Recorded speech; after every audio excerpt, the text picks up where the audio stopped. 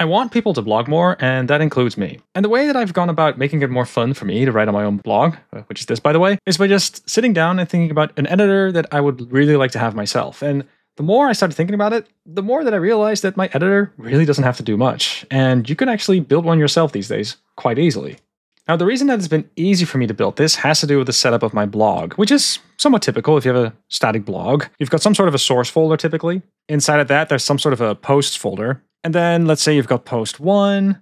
Inside of that, you might have screenshot one.png. You might have screenshots two. And eventually you would have some sort of an index.md file. This would be the markdown that you would write. And then you would have some sort of a script that would take all of these folders and it would move that into a site folder or a public folder or what have you. You would still have all of your posts. You would also still have all of your images. But the main thing that's different now is your index would now be an HTML file with styles attached and tailwind maybe, all that good stuff. So given that we have some sort of a build step that goes from here to here and uh, this can be a custom script, but it can also be some sort of a Jekyll like static file generator. But assuming we've got this step, the only thing that my text editor would really need to do is it would just need to be some sort of a command line app. In this case, I have a make command, make write. And this starts up a little Flask server that gives me a writing session.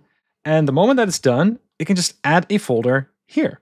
And the moment that you recognize that it doesn't have to be more complex than this, you also start to realize that it really becomes quite easy to make something bespoke. So the thing that I made is basically this one little UI that sits in this Flask server.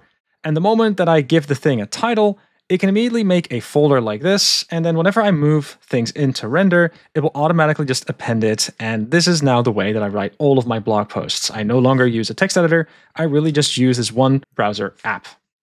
And this is what it looks like. When I type make write, it starts up this Flask server. And let's get started by saying, hey, uh, there's a new blog post over here. That's going to be the title of this blog post. And from here, I can just start writing Markdown as I'm used to normally. So I have some sort of a title, maybe I have a subtitle somewhere. Nothing too crazy. And, you know, I can do code, yay, exclamation point, and, you know, things like quotes. These All these things just go ahead and work. But there are some bells and whistles that I added though. So a typical thing that you might do is you might refer to another post. So you might have something for more info, check here, right? Like that's something you might write, and then here needs to point to the other site.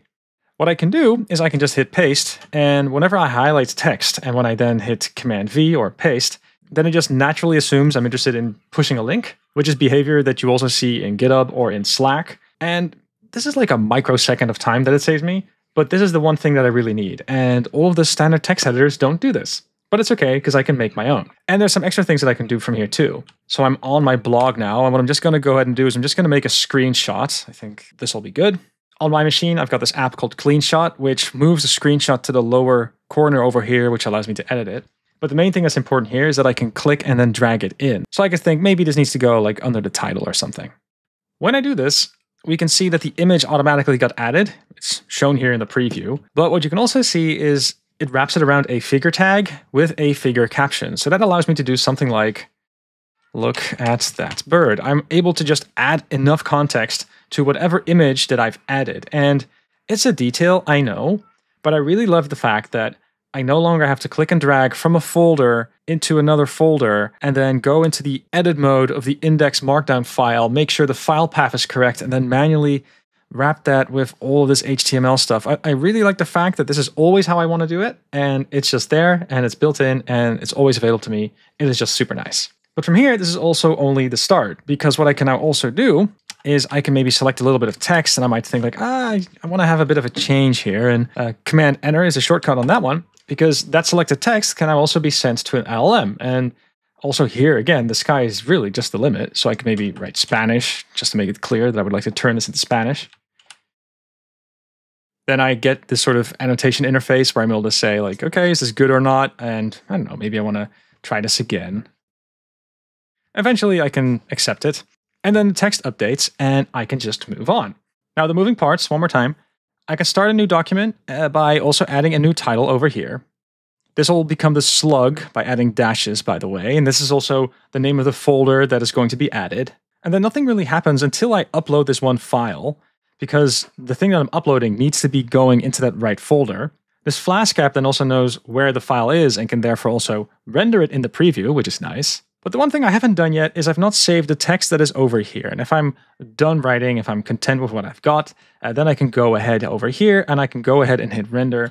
And the moment that I do this, then what you see on the left hand side over here is written as an index.md file in the right folder. And under the hood, this is all a command line app. It's called draft. What you can do is you can point to the folder that needs to store the other folder. So it's all nicely configurable. And I gotta say, it's a small little detail. It was a nice evening of coding to get this to work. But oh my god, is it just so much more fun to write blog posts now? I actually feel like writing multiple times a week now that I've actually got this. And I'm pretty sure that this flow is not going to work for everyone, but I can say that this flow works very well for me because we can vibe code quite easily. I am also very comfortable saying that if I want to change this, I can. And maybe if you want to have more fun stuff on the internet that's written by humans, we should also have people like you, yes, you, build something like this. Not only is it a fun exercise, but it is genuinely motivating to build your own tools such that you actually do an action more. And the perfect example for that was this like the, the simplest writing tool that does a few things that I like ends up being the tool that I really love using the most. And especially because I've got full control, I really can't see or think of any other way of blogging now than to do it via something like this. If you're looking for some extra inspiration, definitely feel free to check out my GitHub repository. The command line app is called Draft. It is a tool that I really just intend to write for myself, so don't expect me to maintain or listen to lots of issues or anything like that. This is really just something for me. But I do like having the code out there because it can be a motivating example for someone like you to try something out like this for yourself. It is built on top of LLM by Simon Willison, which also means you can attach multiple LLMs if you're interested. And also a fun fact, if you want to maybe just play around with this locally yourself, uh, you don't even have to install it inside of a virtual env. You can just call UVX with this one liner over here, and it's just basically going to do a somewhat stateless install. It's going to give you this one session with the tool ready to go, so you can go ahead and explore it. And if you then end up never using it, it's not like you've installed it in a virtual env and you have to throw it away or something like that. Hopefully, this sounds like fun. The main point is not so much to brag about this tool, the main point is to consider building your own tools for yourself. Doing that is just the best.